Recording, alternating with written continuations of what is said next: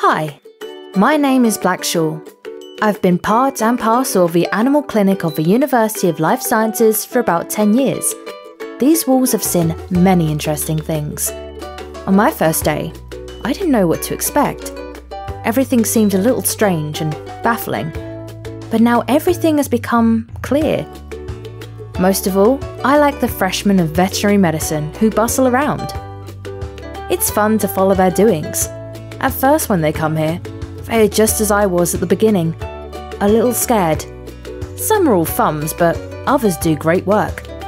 I have no idea what they do to them, but they become much more knowledgeable by the day. Oh, hello. This is Elise. She has studied and bustled here three years already. You must have to behave when she is present. She knows at once what to do and how. They learn so quickly. Even at freshmen, you can't poke fun long.